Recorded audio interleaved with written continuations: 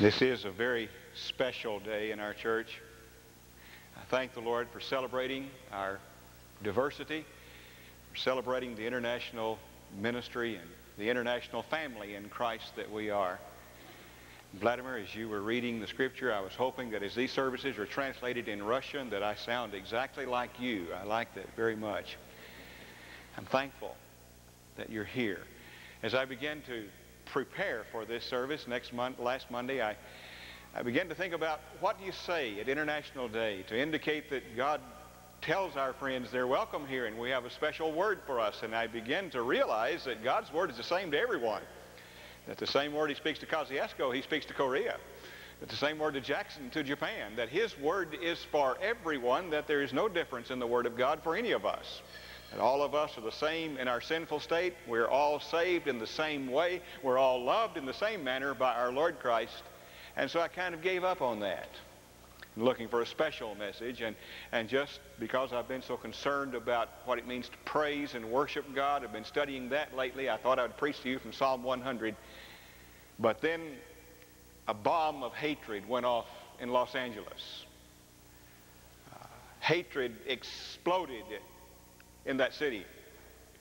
It made me realize that there are some very basic things that all of us believe that maybe do need to be stated and need to be said.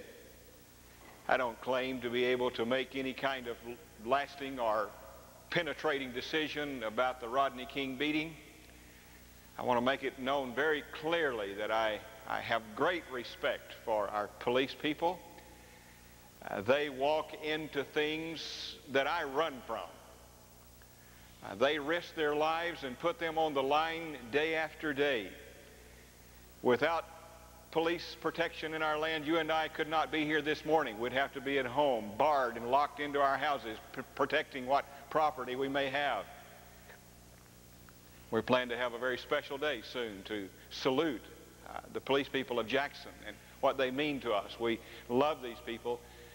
But I'll have to admit that as I watched that 81 seconds of that beating for the first time in my life, I felt some shame for our system and some anger about that thing happening.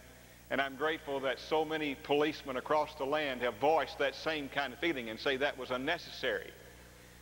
I have never understood how we can send people into a jungle to capture man-eating tigers and lions and boa constrictors and gorillas without even putting a bruise on them and bring them back to a zoo. And yet when we capture people, it seems it's necessary sometimes to bruise and to break bones, and I don't understand that, even though I do understand that lions and tigers and snakes and gorillas don't carry guns. Some of you know that one of my very dear brothers in Christ is E.V. Hill, a much loved and respected man. He lives in the area of South Los Angeles that's faced so much destruction this week. He is pastor there. He, he lives there. His church is there. His people are there. I've tried to call this much loved brother a couple of times. The operators say there simply is no way to call into that area. And I, I would wish that you would pray for EV and for his congregation and for all those people. And remember that while some hundreds may have caused that destruction, there are hundreds of thousands of people have been hurt by it. 41 have lost their lives. And Others are hurt, and the economic impact will be felt for many, many years from that kind of destruction. And I want us to pray for them. The word from God is Colossians 3, beginning in verse 11. Remember, this word is God-breathed. This is God's word, a word he speaks to his family of faith in the Lord Jesus Christ, a word he speaks to you and me. And he says here, that is in the family of God, here, there is no Greek or Jew, circumcised or uncircumcised, barbarian, Scythian, slave or free, but Christ is all and in all. Therefore, as God's people, holy and dearly loved, clothe yourselves with compassion, kindness, humility, gentleness, and patience. Bear with one another and forgive whatever grievances you may have against one another. Forgive as the Lord forgave you. And over all these virtues, put on love, which binds them all together in perfect unity. Let the peace of Christ rule in your hearts, since as members of one body you were called to peace, and be thankful. Let the word of Christ dwell in you richly as you teach and admonish one another with all wisdom and as you sing psalms and hymns and spiritual songs with gratitude in your hearts to God. And whatever you do, whether in word or deed, do it all in the name of the Lord Jesus, giving thanks to God the Father through him. Thanks to God the Father through him. Our Lord is saying in verse 11, here there's no Greek or Jew, circumcised or uncircumcised, barbarian, Scythian, slave or free, but Christ is all and is all. He's simply saying there are no walls of partition built between God's people. That there are no people common or preferred. There are no people wanted and unwanted that our Lord God, through the love of Christ, has said to you and me, we are, there is no difference, for all have sinned. There is no difference. God loves us and sees us all the same. In the fellowship of the Lord God, there are no distinctions. There are no walls built. In his day, he would say there are no, there's no Jew nor Greek as far, as far as God is concerned. There are no people who are bond or, or, or slave or free. When he speaks of barbarians, they called a barbarian in that day anyone who didn't speak Greek.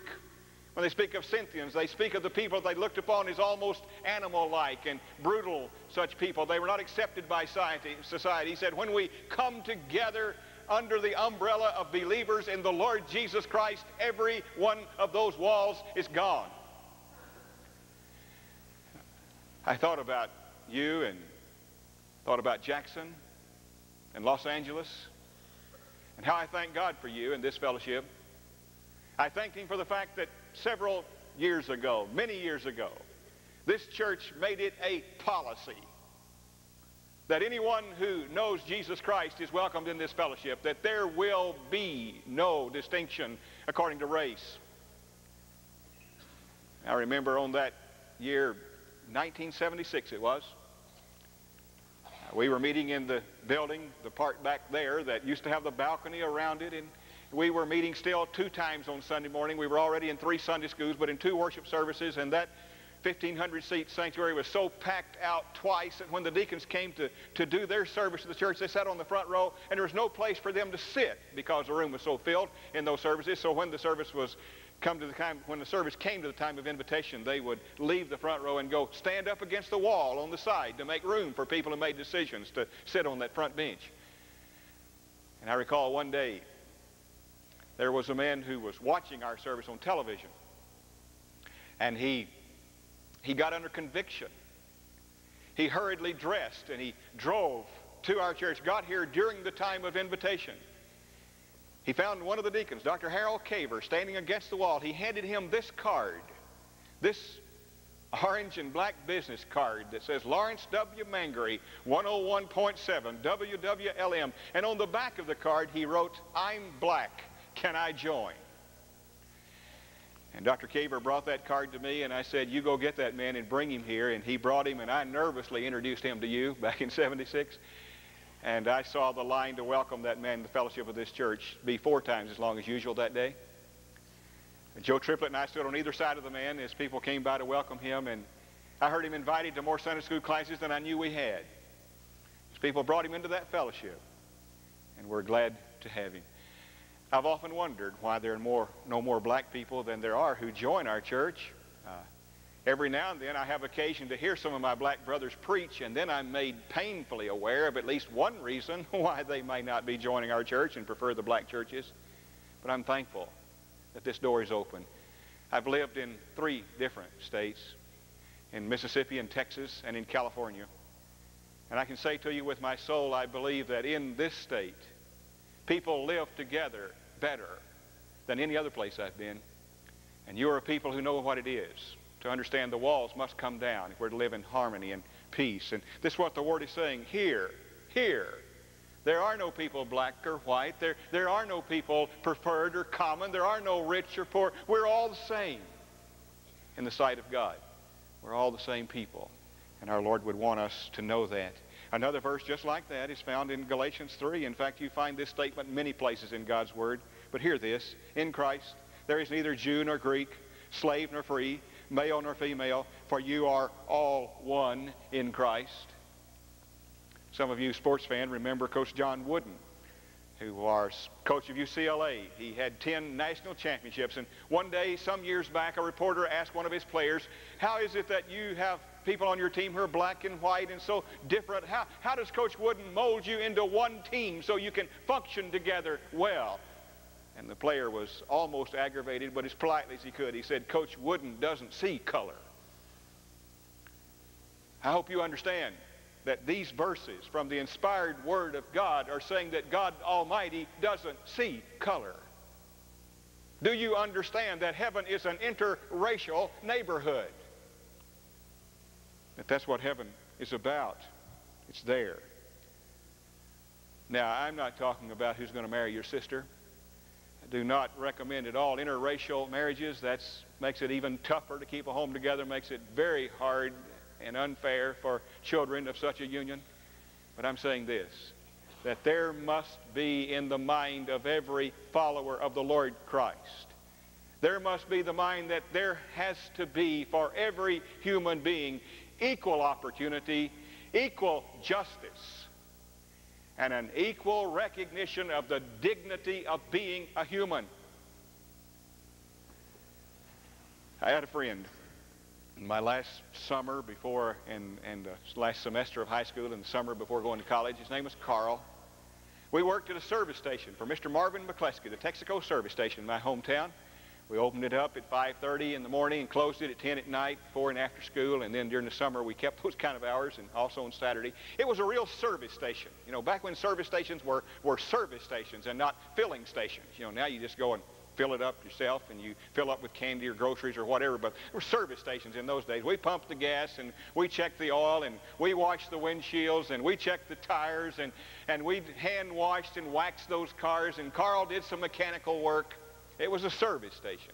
Carl learned that I loved to play baseball, and so he introduced me to some very fine baseball players. We played together on Sunday afternoon. And then we had one of those economic depressions come that come often to oil-filled towns. Uh, when the supply of oil becomes more than the demand, well, a lot of bad things happen in places like my little hometown. And things got so bad, Mr. McCleskey had to let one of us go. And since Carl was a little more skilled in what we did, and I was about to go off to college, I was let go. And I didn't see him anymore after that when I went off to school. When I got to school, our baseball team that first spring played Brooks Army Medical Center a special baseball team and special services of the Air Force, of, of, the Army, where people were brought there who were professionals in this, and we played them.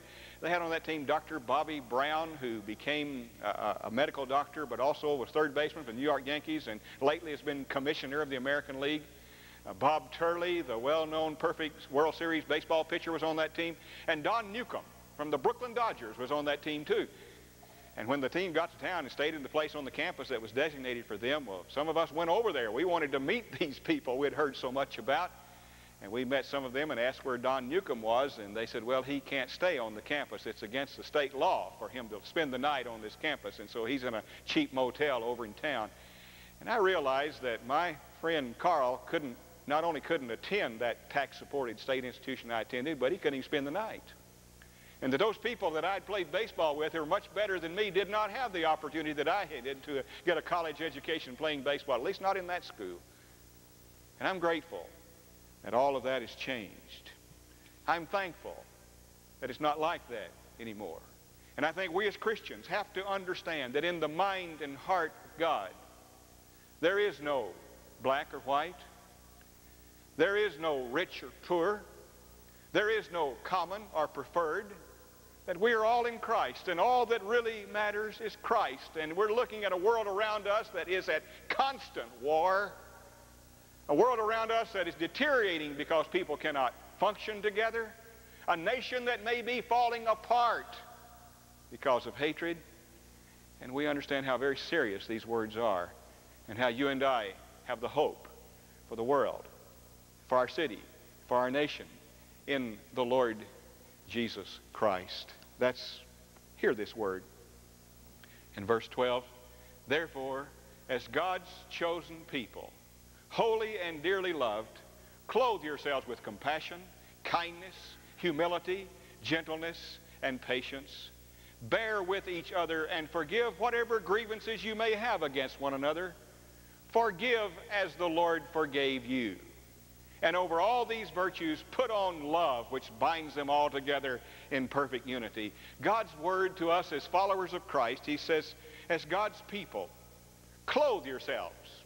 Just like in the morning you get up, you decide that you will put on compassion, kindness, humility, and gentleness, and patience. And then he says, and above all this, put on love as though the, the coat you show, the garment that the world is going to see is love. Clothe yourselves like that. It's not a suggestion, it's a command. It's a thing we do not naturally but purposefully. Every day of our lives we put on these virtues and live this way. And above all, the thing that the world is to see in us is love. Is love. And then the word talks about attitude, about motivation, and about action for those who are serious about following Christ. Verse 15, the attitude. Let the peace of Christ rule in your hearts, since as members of one body you are called to peace. Wouldn't it be wonderful if all people could understand our calling is to make peace, to be peacemakers? These are the kind of people who will be blessed. Jesus said, blessed are the peacemakers. They're the ones who make the world what it ought to be. A snatch of poetry that I don't know where it came from. I, I don't know who said it, but it has been haunting me this, this whole week. When will I bless the world, says God? When every sorry human sod stops hating every alien sod, that's when, I, that's when I'll bless the world, says God. Let peace be your attitude. Let it be your attitude. And then for the motivation, for that strong launching point from inside you, the thing that causes you to be what you are. Listen to verse 16. Let the word of Christ dwell in you richly as you teach and admonish one another with all wisdom. Let the word of Christ be your motivation. Let this be the foundation for all that you do as you serve him. And the action in verse 17. And whatever you do, and whatever you do, whether in word or in deed, do it all in the name of the Lord Jesus. I have been thanking God for you this week, thinking about the particular place that God has put us as his family. We made that decision, though, several years ago that we would stay at the hub of the metropolitan area of Jackson. We live in a metropolitan area of 400 plus thousand people. 41% of those are black. And we have put ourselves here. We have invested these millions of dollars in this place that says this is how we feel about the Lord God, and this is who we are, and we're at the center of this city saying that we want to minister in the name of God to all of this area and to all of its people. And there is not one week, not one single week that passes, but what that some member of this church is reaching out in ministry and love and compassion to the black community of Jackson, Mississippi.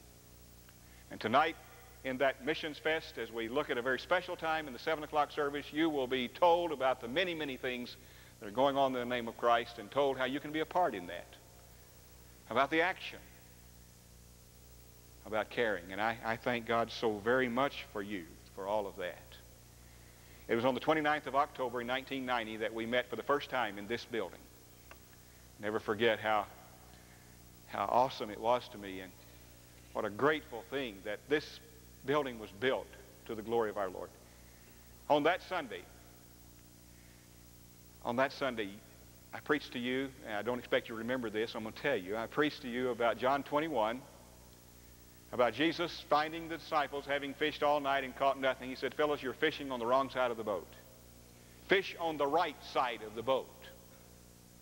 And I told you that we were fishing, that we need to fish on the right side of the boat. And you encouraged me for saying that we don't fish with a lure, we fish with a net. We're not using specialized lures to catch just very special kind of fish, but we fish with a net, the Lord said. Cast the net on the right side of the boat. And you encouraged me for saying that uh, this is not the country club at prayer, this church. Nothing wrong with the country club, but the church of the Lord Jesus Christ is not the country club at prayer. Now, this is not the First National Baptist Church. This is not the First Baptist Country Club. This is a church for all people. Anyone who knows Christ is equal. Someone might ask, you, is this a white person's church? And we'll say, yes. Is this a black person's church? Yes. Is this an Oriental church? Yes. Is this an Indian church? Yes. Is this an Hispanic church? Yes. Is this a church for anyone from anywhere in all the world? And the answer very obviously this morning is yes. Is this a rich person's church? Yes. Is this a poor person's church? Yes. Is this a church for all the people in between? Yes.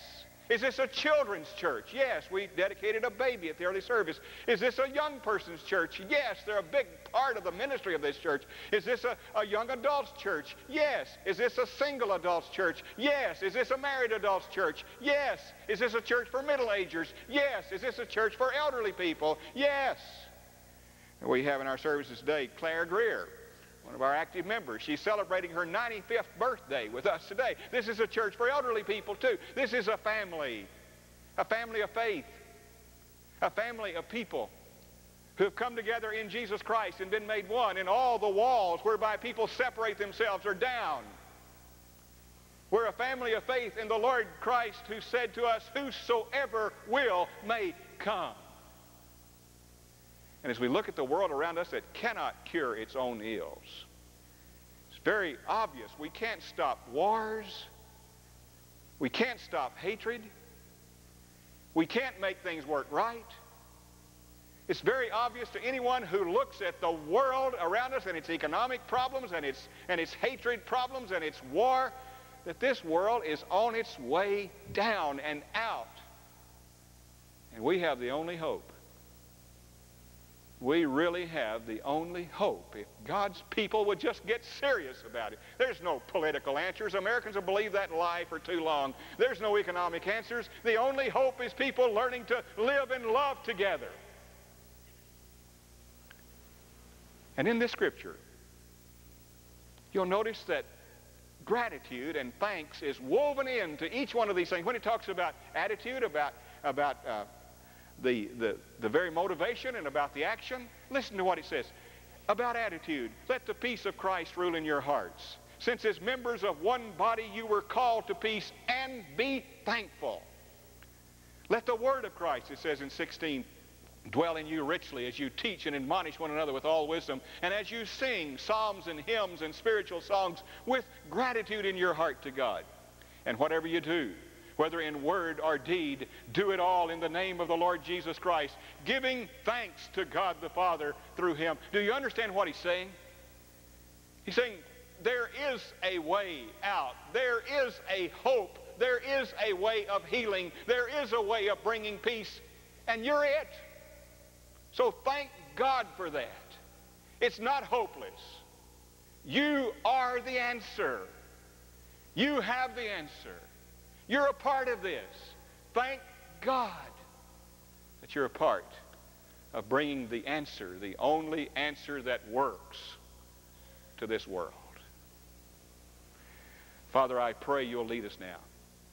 I pray your spirit will bore deeply past all the hard crust of sin and selfishness and unconcern, and you'll make us see how vital it is that your people be the people we were called to be, or the world has no hope.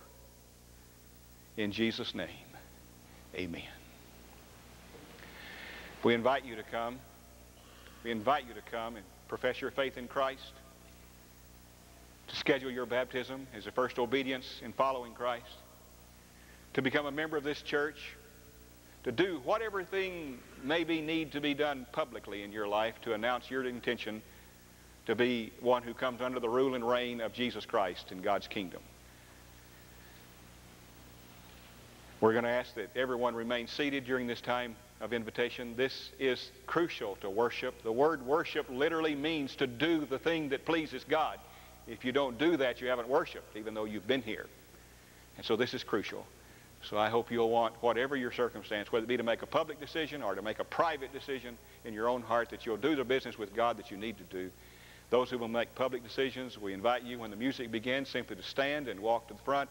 There will be some very happy people to meet you, to greet you, to welcome you, to rejoice in your decision to honor our Lord Christ. Would you come now as we sing?